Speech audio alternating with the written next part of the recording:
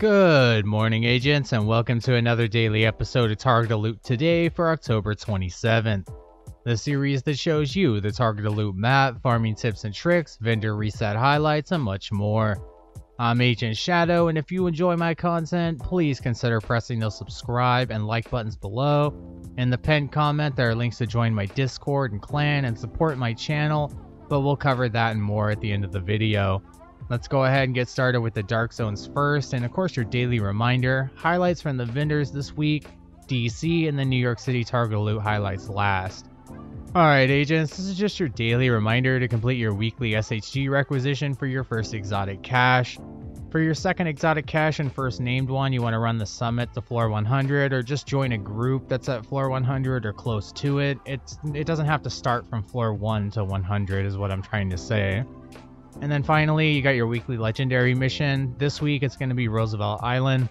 Honestly, the way I do this, my favorite build is my classic M1A build with focus and perfect vigilance on it. That's just personally what I like to run in a group with this Roosevelt Island mission because it's a long range mission. Throw Ranger on your classic M1A and it's an absolute beast.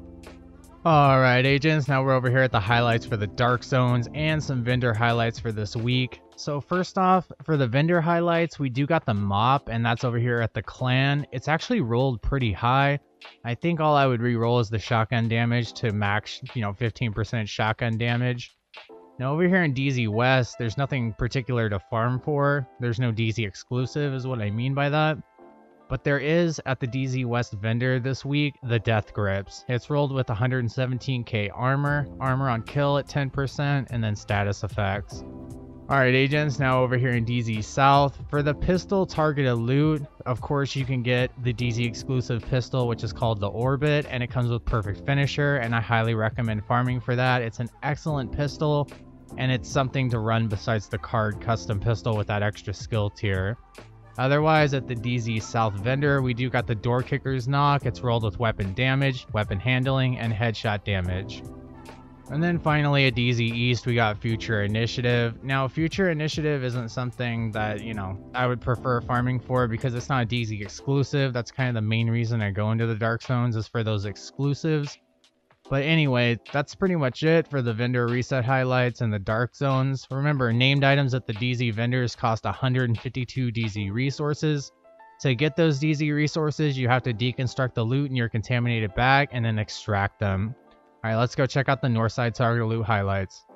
Alright, agents, now we're over here at the Northside Target Loot highlights. So to get this thing started off, we got Camp White Oak, got light machine guns, so the exotic Pestilence and the exotic Bullet King are two exotics you can farm for on any difficulty. Otherwise, you can farm for a named LMG like the Good Times with Perfect Fast Hands, the new Reliable, the Carnage, the Sleipnir, or the Quiet Roar. There's all sorts of named LMGs in this game. We got Hunter's Fury over here at Coney Island Ballpark. Remember, you want to run this with weapon damage, or you can roll complete armor on it, and then crit hit chance or crit hit damage. Just make sure you're at or near the cap for 60% crit hit chance before you start rolling crit hit damage on Hunter's Fury. I have several builds with Hunter's Fury. I'll put one in the top right card now if you need some help with that. And yeah, that's about it for Hunter's Fury. We also got chess pieces at Manning National Zoo, so you can farm for two exotic chess pieces. That would be the Ridgeway's Pride if you've already completed the project, or if someone in your group is already completed it, someone like myself, where I could refarm for it and then drop it for someone else, and that skips the project that they would have to do. And then second of all, you can of course get the tardigrade exotic chess piece, which is an amazing support exotic chess piece, so I recommend farming for it if you do not have it yet. We also got Kenly College open for another six days. And then over at the summit, you pick your own targeted loot. So just choose what you need to get and then go. All right, guys, let's go check out the West Side Target Loot highlights. All right, agents, we're over here on the West Side Target Loot highlights. Now, we got quite a bit of stuff today. Even over in New York City, there's just stuff everywhere. So let's get started off because this video might be a little bit long. We got True Patriot as the gear set at Federal Emergency Bunker. I got one build video with that that I absolutely love. I'll put it in the top right card right now.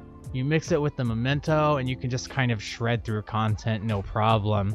I actually have been running that on Legendaries. I've been running it Legendary Summit, all sorts of just difficult content solo and in group, and it just kind of works all over the place. And then we got hardwire at Roosevelt Island.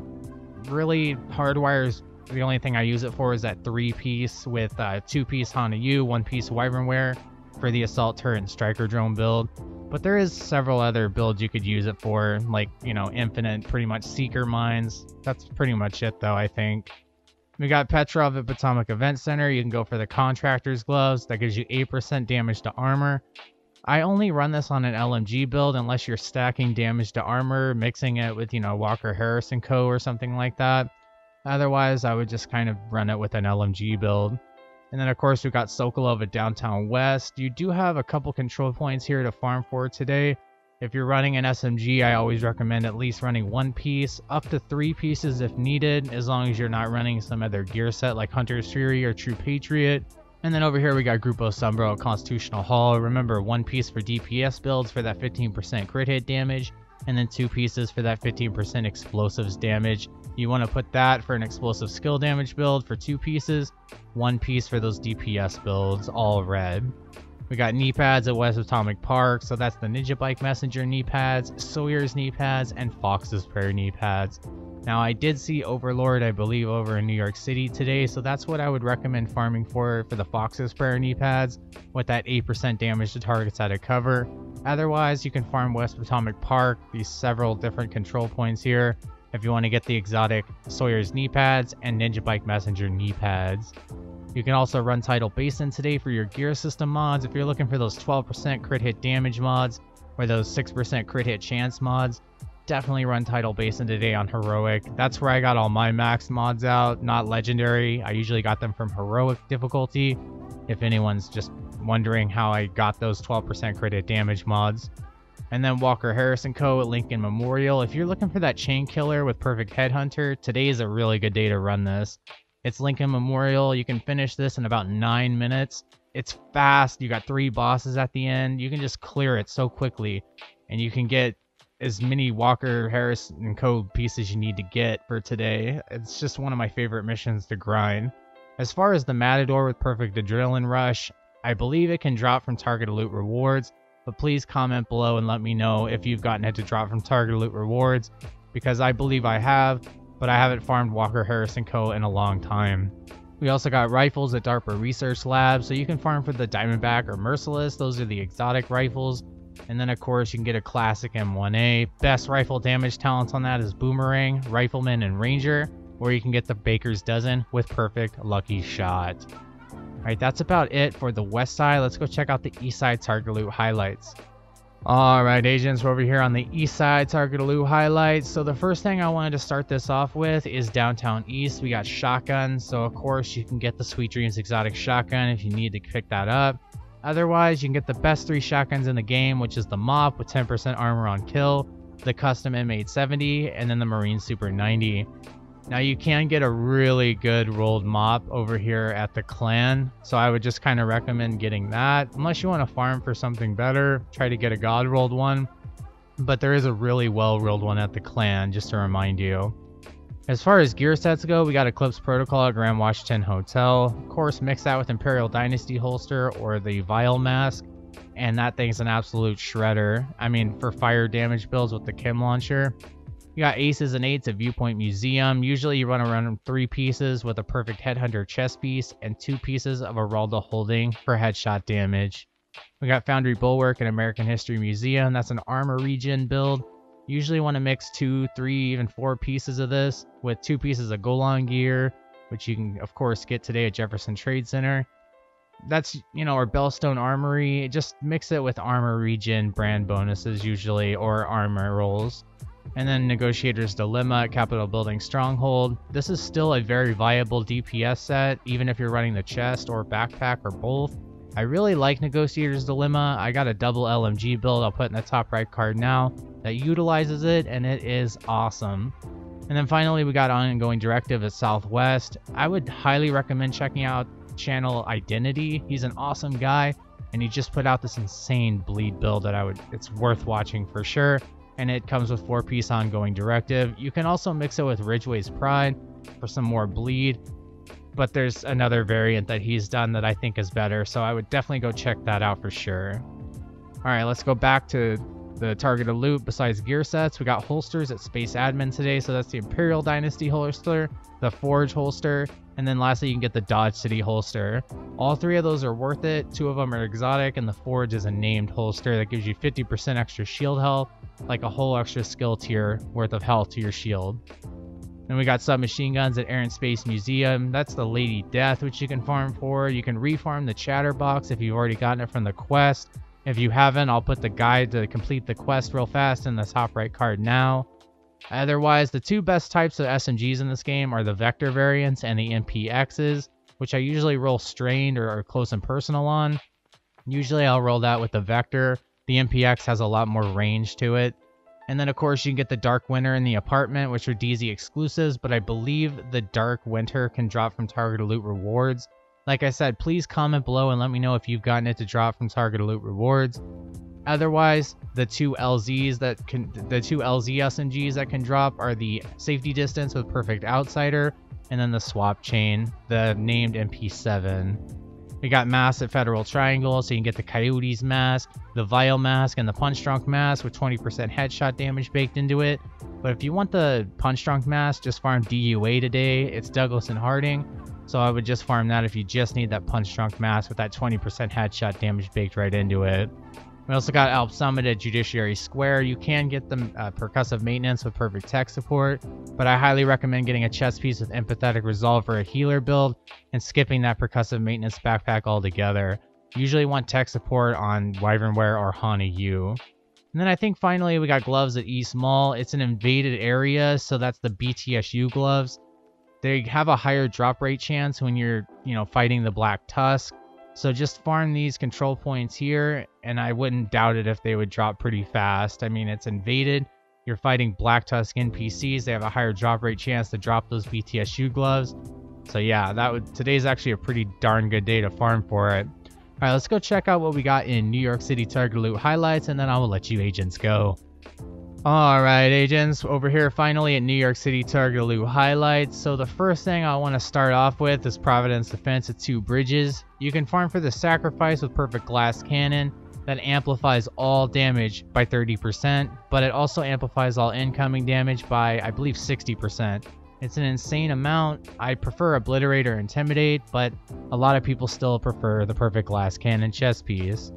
As far as gear sets go, we got Strikers, a Stranded Tanker. Never would recommend Strikers.